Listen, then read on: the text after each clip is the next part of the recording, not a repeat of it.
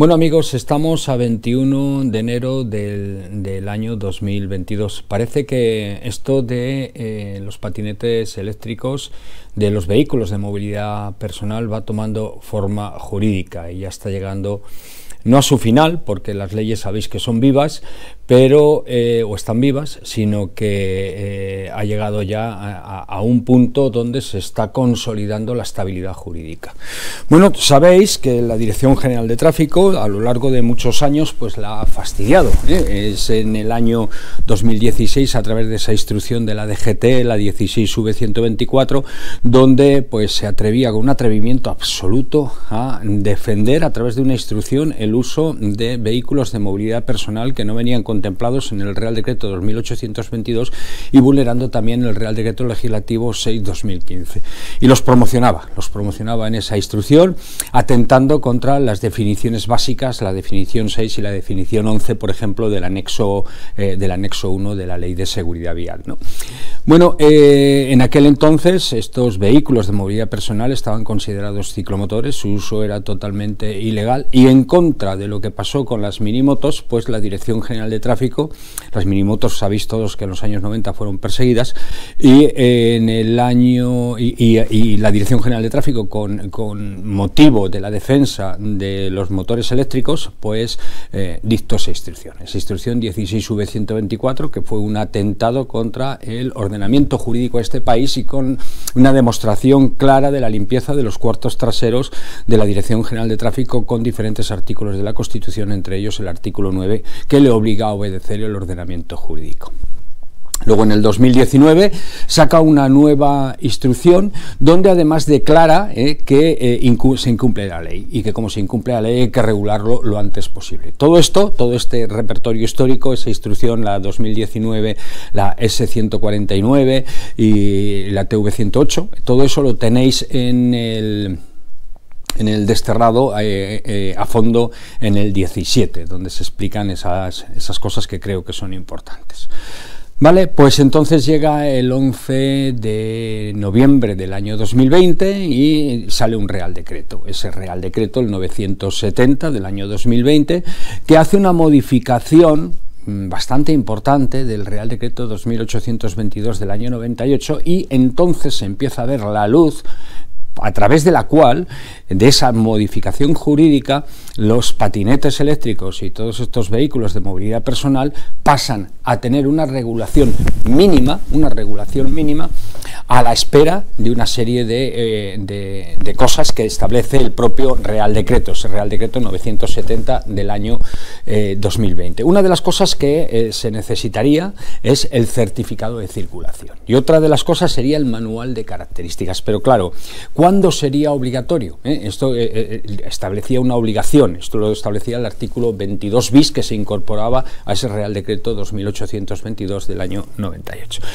Bueno, y se establecía una identificación con ese certificado de circulación también y una, identificación. Y esto pasaría a ser obligatorio, según decía ese propio Real Decreto, 24 meses después de, de salir publicado el manual, de entrada en vigor del manual. ¿Vale? Pues bien, estamos a 21 de enero del 2022 y el boletín oficial del Estado número 18 que se ha publicado hoy saca a la luz la resolución de 12 de enero del 2022. Esta instrucción es el manual de características de los vehículos de movilidad personal. Y eh, bueno, es interesante, lo, primero ya eh, es la definición ¿no? que se da dentro del manual de eh, características y esa definición que nos viene en la sección 1, esta, esta instrucción, esta resolución está dividida en secciones, esa sección 1 nos define los vehículos de movilidad personal recordándonos que son vehículos de una o más ruedas, primero. Segundo, nos dice que de una plaza, no de dos, ni de tres, ni de cuatro, de una plaza. Nos dice que tiene que estar propulsado por un motor eléctrico. Además nos está advirtiendo que la velocidad máxima tiene que estar entre 6 entre 6 y 25 kilómetros hora, la máxima. Si tiene menos de 6 kilómetros hora, se considerará juguete, eso dice, ¿vale? Luego, eh, los que sí pueden estar dotados de asiento son los que tienen eh, el sistema de autoequilibrado. aquellos que no tienen sistema autoequilibrado no pueden estar dotados de asiento. Por lo tanto, en cuanto veamos un patinete eléctrico que lleva asiento, ya lo decía ¿eh? ese Real Decreto 970, que no podría llevarlo, pues estamos ante un ciclomotor. ¿eh? Estamos ante otro tipo de vehículo y requiere otra serie de requisitos. Dice la propia instrucción, divide estos vehículos en dos tipos de uso. El uso de para el transporte de personas y otro uso que va aparte y que no vamos a tratar en este vídeo, que es el de mercancías u otros servicios. Importante ahora, vamos a ver qué pasa con todo lo que hay ahora en el mercado. Mirad, la sección 33 de esta resolución 1201-2022, publicada hoy 21 de enero del 2022, que nos está diciendo que a partir de 24 meses eh, eh, la comercialización de estos vehículos estará supeditada a, esta, eh, a esta instrucción, a esta resolución. Y es a partir del 22 de enero del 2024 cuando hay que cumplir con todo esto que tenemos en este escenario. Pero advirtiendo que todo aquello también que ya hay en, el, la calle, que ya está puesto en el escenario público y que se está comercializando, durante cinco años. ¿eh? Durante cinco años, desde el 22 de enero del, 2022, que es mañana, durante cinco años van a poder circular sin ningún tipo de problema. Por lo tanto, esos otros eh, vehículos de movilidad personal, no los que tienen asiento y no estos, ¿eh? no tienen que cumplir una serie, una serie de mínimos. Esos vehículos sí van a, a poder circular sin necesidad de cumplir a la perfección con esta instrucción, con esta eh, resolución del 12 de enero del 2022. Veamos ahora el resto de las secciones, cómo tiene que frenar, veamos cómo tiene que acelerar, veamos cuántos frenos tiene que tener, si tiene que tener retrovisores, si tiene que tener intermitentes, si tiene que tener claxon o elemento de señales acústicas. Vamos a ver cómo tiene que ser ese vehículo para que se ajuste a esa instrucción. Bueno amigos, como hemos comentado ya tenemos el manual de características de los vehículos de movilidad personal. Pues la resolución 12 de enero de la Dirección General de, Tráfico nos viene ese... Eh, esas características que tienen que tener los vehículos de movilidad personal y una definición mucho más concreta de lo que es un vehículo de movilidad personal y cómo tiene que ser ese vehículo de movilidad personal. Vamos a coger aspectos importantes que nos interesan a todos, a los que van a usar los vehículos de movilidad personal y a los que tienen actualmente vehículos de movilidad personal y no saben qué van a hacer con ellos, o a los que no tienen vehículos de movilidad personal, pero pueden verse afectados por un accidente con un vehículo de movilidad personal.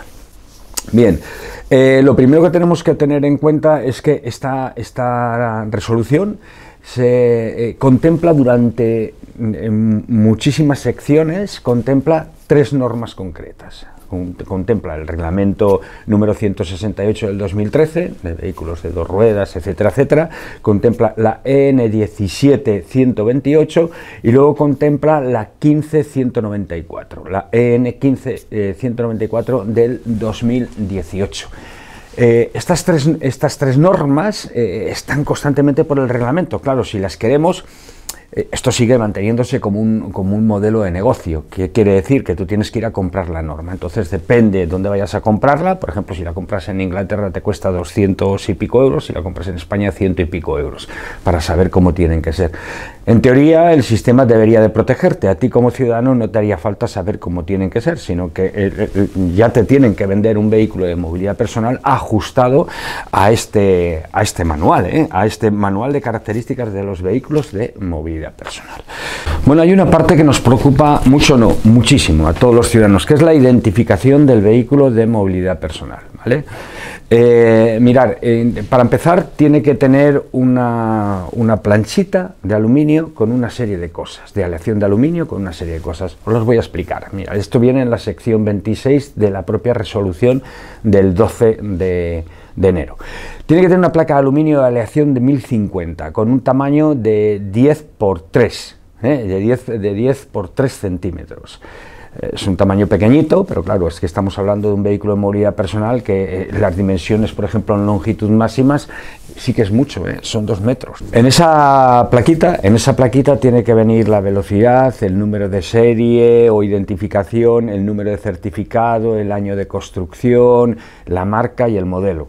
Estos datos son fundamentales. Si una plaquita carece de uno de esos datos, el vehículo está sin identificar de forma correcta y sería una infracción al Reglamento General de Vehículos. Ya estaríamos hablando de infracciones al Reglamento General de Vehículos.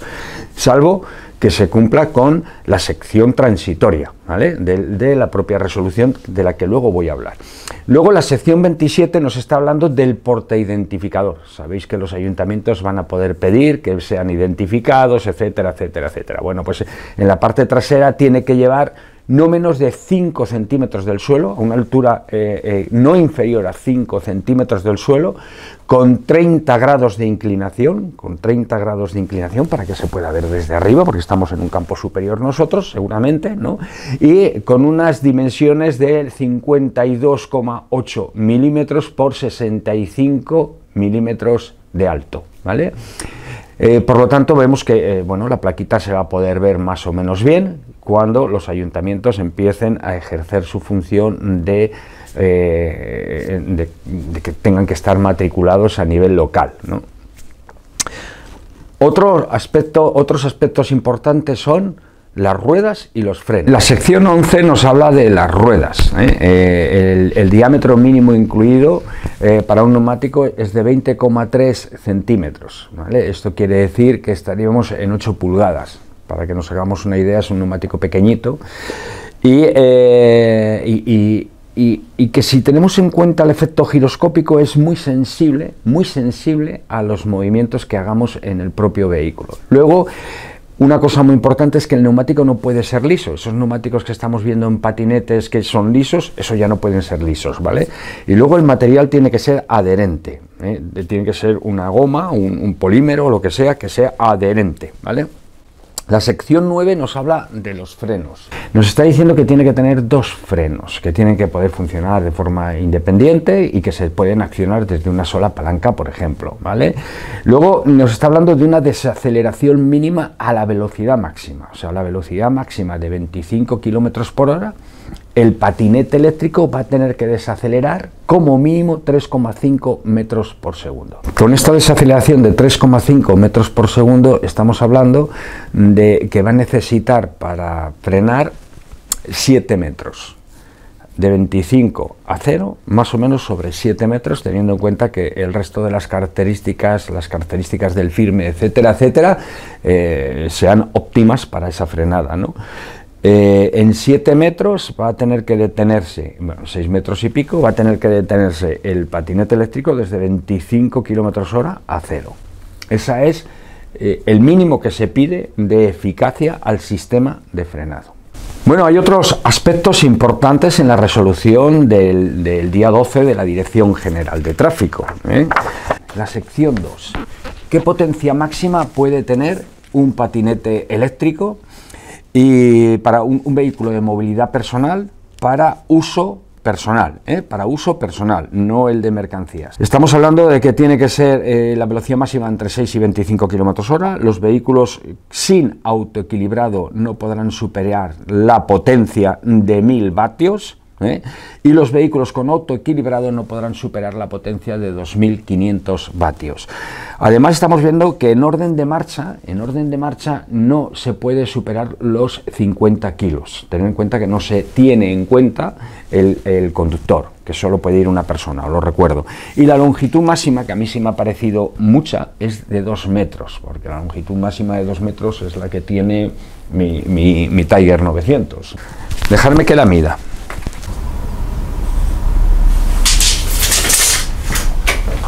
Eh, mi Tiger 900, desde la parte final del cofre hasta el pico, hace 2 metros. un patinete eléctrico, según esto de uso personal, la longitud máxima sería de 2 metros, como una moto de 900 centímetros cúbicos. No me lo puedo creer. Bueno, no me entra en la cabeza eh, esa, esa, longitud para un patinete eléctrico, pero vamos, estamos hablando de un patinete eléctrico de uso personal, ya no estamos hablando de, de un, patinete eléctrico para, de mercancías. ¿no?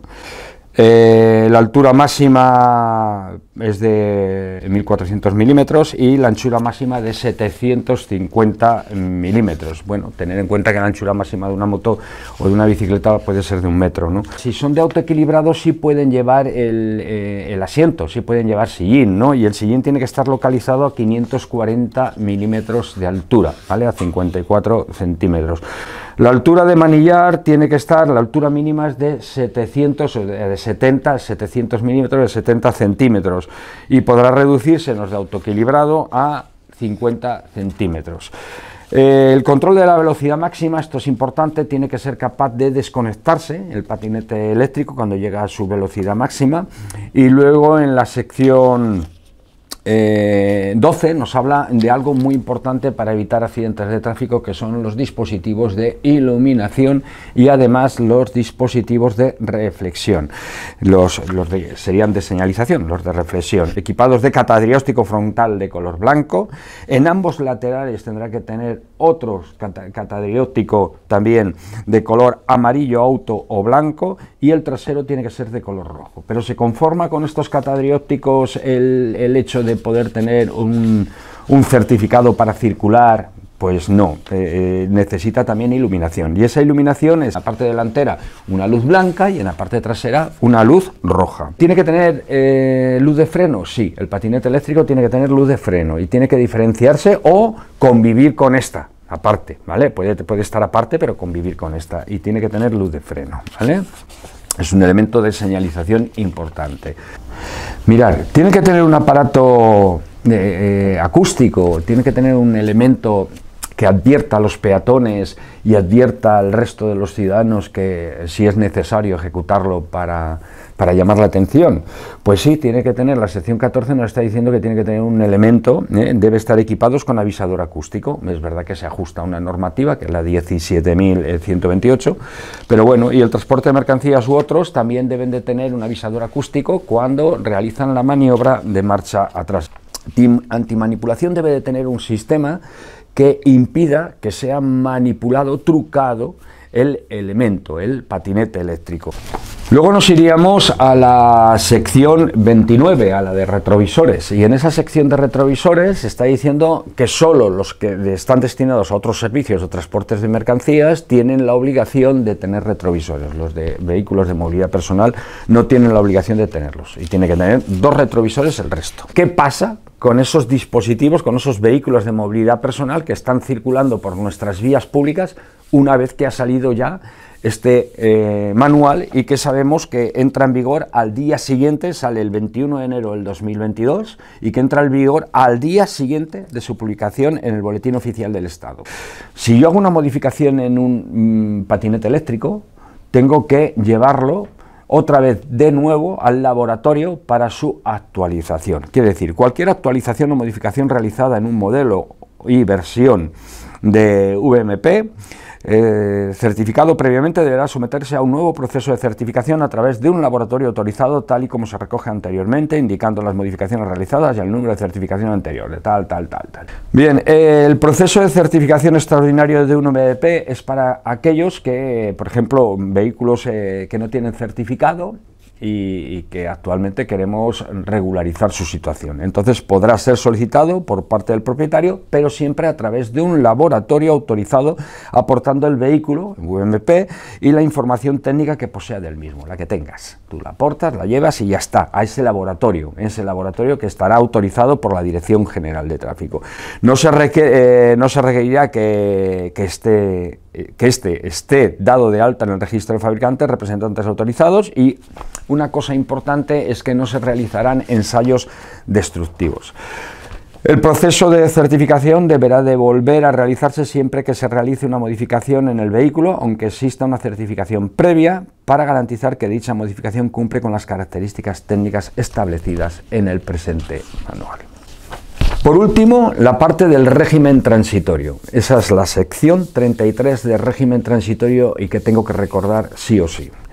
Mirar, de forma transitoria se establecerán los siguientes plazos para la exigencia de procesos de certificación VMP. Todos los modelos que se comercialicen a partir de 24 meses de la entrada en vigor del presente manual deberán contar con dicha certificación. Por lo tanto, si el manual entraba en vigor el 22 de enero del entra en vigor el 22 de enero del 2022, pues sabemos que hasta el 2024 hasta el 22 de enero del 2024, los modelos que estén circulando por ahí no tienen por qué tener certificación. ¿vale? Esto es una fecha importante, pero luego hay otro aspecto importante y con esto terminamos, que dice los vehículos comercializados antes de la entrada en vigor del presente manual, los vehículos que se han comercializado antes de la entrada en vigor del presente manual, o sea, antes del 22 de enero del 2022, eh, o durante el periodo transitorio establecido o durante los dos años siguientes, que es el periodo transitorio establecido, podrán circular durante los cinco años siguientes a dicha entrada en vigor. Por lo tanto, todos los vehículos que se comercialicen durante estos dos años o en estos dos años o que estén ya circulando, gracias al desastre que hizo la Dirección General de Tráfico, pueden ir como les dé la puñetera gana hasta cinco años siguientes, o sea, 2022, 2023, 2024, 2025, 2026, 2027. Hasta el 22 de enero del 2027, los vehículos de movilidad personal podrán ir como le dé la puñetera gana. Eh, este es el pequeño resumen que hemos hecho. Recordaros que hay unos plazos que hay que cumplir, Recordaros que, mientras tanto, esos vehículos que están circulando por la vía pública, según el manual, pueden ir como les dé la puñetera gana. Y recordaros que eh, vamos a hablar en especial de algunas cosas concretas del manual porque son muy importantes para entender ratios de seguridad, pero lo haremos en otros vídeos. Ahora hemos hecho un resumen de cómo tiene que ser un vehículo de movilidad personal para uso particular. Vehículo de movilidad personal para uso particular. Y nada, y con esto os dejo, vamos al, vamos al lío. A mí me sigue sorprendiendo, me sigue sorprendiendo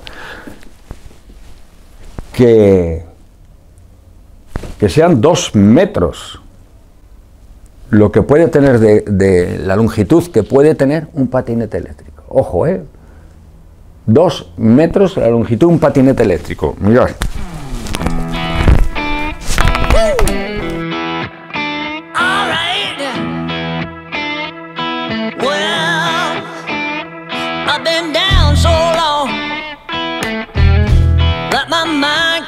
Get no rest.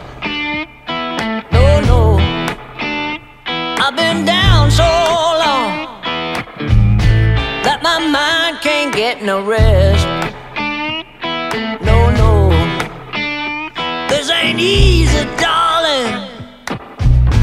Cause the devil's on my